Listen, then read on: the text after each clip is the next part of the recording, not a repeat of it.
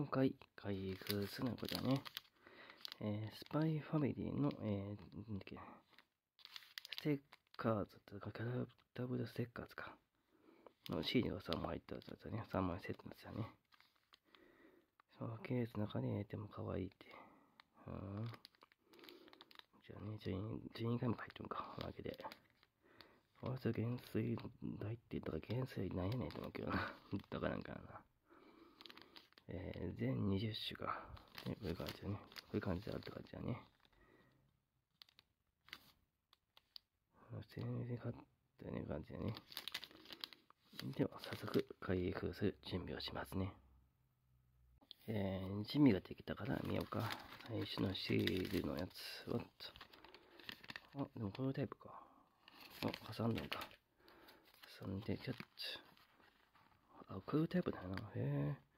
新しいな。こういうタイプ初めてやな、これ。へえ。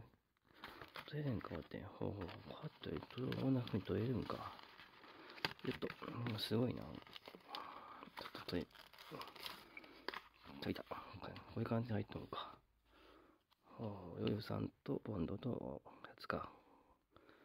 うん。新しいやり方やな。てっきりあの、てっきり前にやったポケモンのやつとしようかなったけどな。これよいしょ。では、カバッと。お、アーニャが、アーニャたちか。アーニャ。これは一緒だよね、でも。よいしょ。よいしょ。次のやつ。おっと。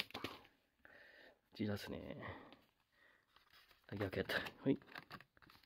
お、アーニャと顔とスパイミーと、あのボン、えー、ロイドか。ロイドバー。ロイドがあると。よ次、逆やってこうや。よお、りょうさんと、あの、戦闘機バージョン、戦闘機じゃない、戦闘機バージョン、こういう感じ。おー、欲しいじゃん。こうやったらスマホケース貼りやすいな、でも。よいしょ。次。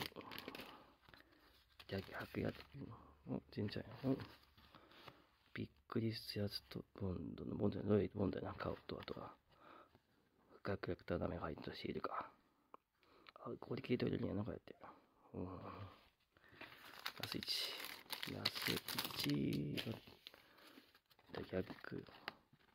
お、取り巻きや。うん、ベッキーじゃなくて、あの、取り巻きやとか。うん。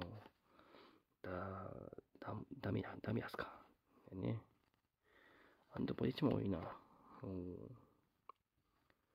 最初に、全部開封してシールは全部こんな感じなんで、ちょっとぐちゃぐちゃぐちゃぐちゃって重なってったけどね。結構じゃあな。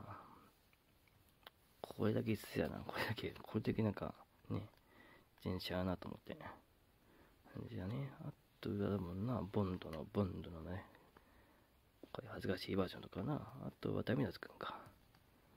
これ、これ多分、これと、これで合わせたら、こういう感じ、いい感じがするね。こういう感じで。で、で、えっと、あとは人間体の、これか。これ、よしこういう感じかもしれない。こうやって。で、えー、っと、どうだ。これ、これか。これか。これはこれ、スパイファミリーの名前、名前取れん。